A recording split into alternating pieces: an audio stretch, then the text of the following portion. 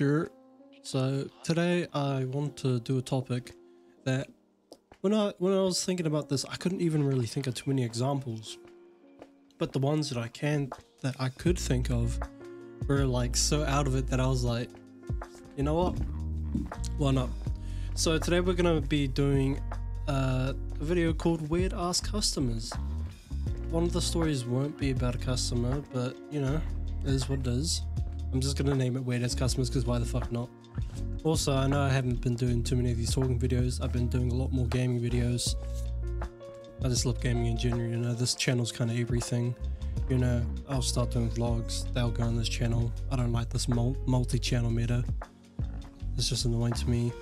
So, you know, if you guys want, even though you probably have talking videos, you guys can check out my gaming ones. And also, I all my gaming videos I do record on Twitch as well. I do them live and then re-upload them here. So yeah, see if you want to. So the first one I want to talk about, I heard, I heard about this like two weeks ago. It I think it was two weeks ago at this point. So one of my co-workers, she works in my obviously my department and also checkouts, and this this certain situation ended up being when she was working at checkouts, there was this uh, young, there was a family. It was um, obviously you know mom, uh, mom, dad, and then I think two girls. I don't know if they were both their daughters or like a daughter and friend, whatever. And then there was an older man. I don't know if he was the one getting his stuff rung up or not, or if it was the family. Doesn't really matter for the story. But what ended up happening is uh, older man, you know, he's like a regular at the store apparently, and he's looks to be in the seventies, and these girls look young enough to have to be asked for ID, so they're probably not that old in all honesty. And what ended up happening was he started talking to like younger girls, obviously with the parents there. And he was just talking, and at the start it was just all normal things like, oh, you know, I don't know, I don't know how to. Anything that I'm kind of thinking of kind of sounds like kind of weird especially me thinking uh, like that it's an old man it just sounds weird. But you know he's just talking to the younger girls.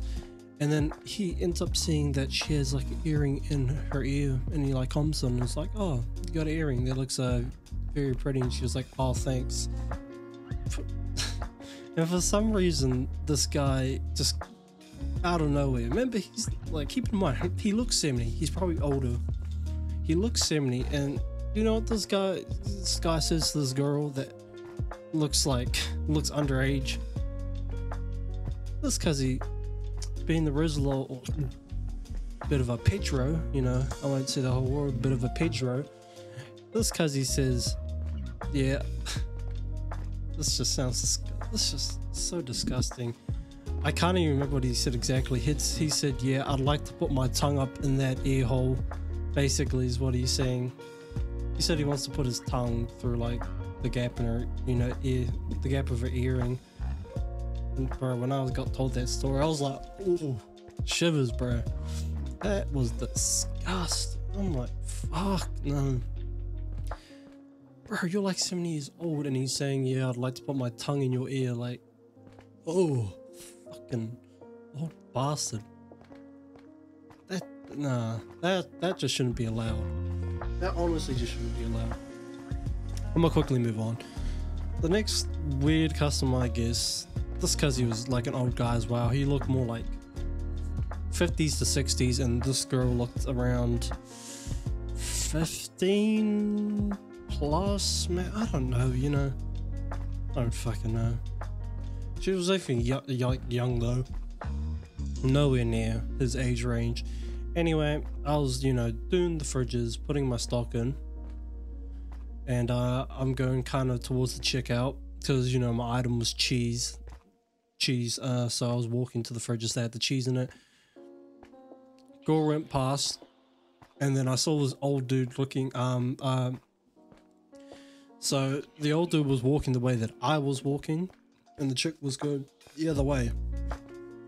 And for some reason, my mind was just like, I wonder if that guy's gonna like look back.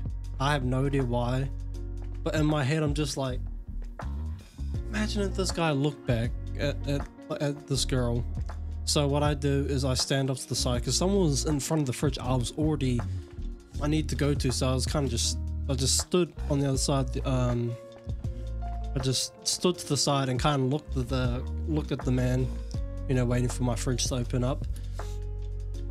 And bro, this cuzzy, I have this was like perfect time. Like I never see anyone because bro, I'm very like I'm always looking around. Like I'm, I'm always got like a like a 180 of my surroundings. I'm always like looking all over the place. It's probably just you know ADHD, but I'm always scouting. You know, looking around, beaming everyone. I look. I'm just looking around at anyone. I'm bored. There's nothing else to do.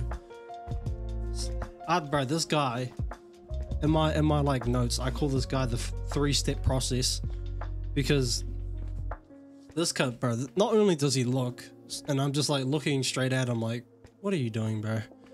You're like 60, and, bro. She looked like 15. What are you doing, cuz? And it was, bro, such an obvious look back. It was such an obvious look back. But I'll tell you why it's called the three step process. This guy was just like the most. He was not smooth in the slightest. Bro, this was like the most driest Sahara Desert turn ever. So first, the first step, he stops. Like he just straight up stops. All the momentum he had stops. Velocity zero. He stops. He does like he does like the most obvious turn.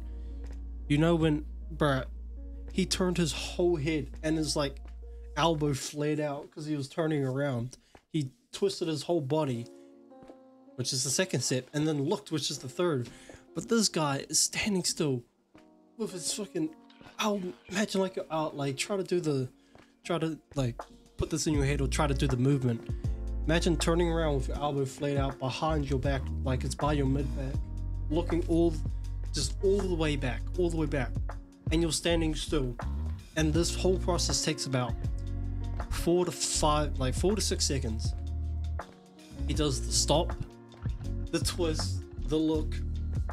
And bro, he's like leaning back, looking back as well. And I'm looking at this cuzzy like, what the fuck is this guy doing? What is this cuzzy doing?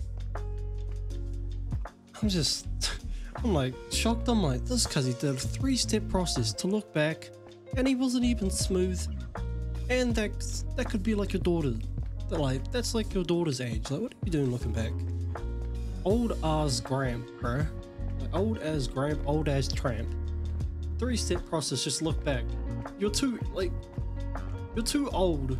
You know you're, you know you're too old when you have to do a three step process to look back. Like, what are you doing? You have to stop, twist, and then look. And you're so obvious, you're leaning back, looking back, and I'm like, ah, oh, this is just embarrassing.